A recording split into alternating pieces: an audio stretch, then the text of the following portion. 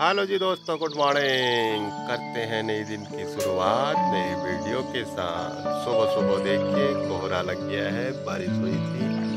मौसम सुहाना हो गया है, जुलाई का महीना आ गया है। जुलाई का महीना होता है, हरियाली का महीना। ये देखिए, काफ़ी अच्छा सामने पहाड़ी में भी ये देखिए, कोहरा लग गया। और खेतों में भी उत्तराखंड देवभूमि का और इनका स्कूल है आज, रुचि का। ये मुँह हाथ धोने लगी है। तैयार हो जाओ, शाबाश। पानी अभी आया नहीं है। ठीक है?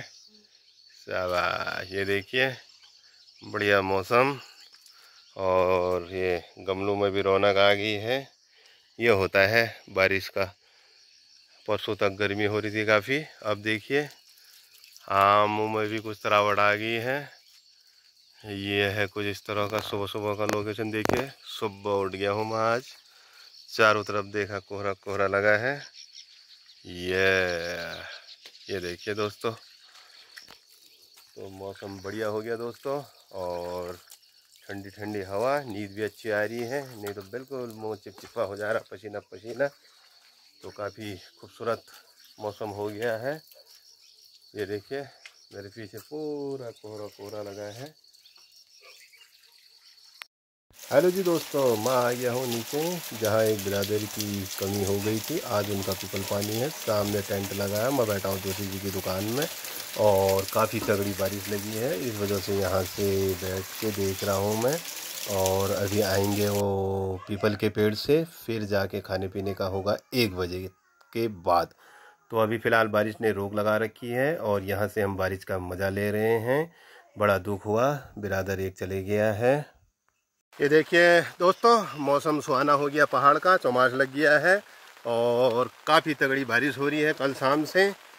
और कल जो हाई अलर्ट किया था, स्कूल बंद थे, आज खुला है तो आज मौसम सही है। अब हम नीचे हो आते हैं। पहले वीडियो में बताया था मैंने कि एक वो बिरादर कम हो गए, आज उनका ट्यूबल पानी है तो खाने पीने का है वहाँ और बारिश भी कंटिन्यू है। तो मैं हो आता हूँ नीचे।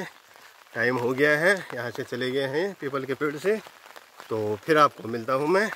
और आज मेरे को लग रहा है लगातार बारिश ही है।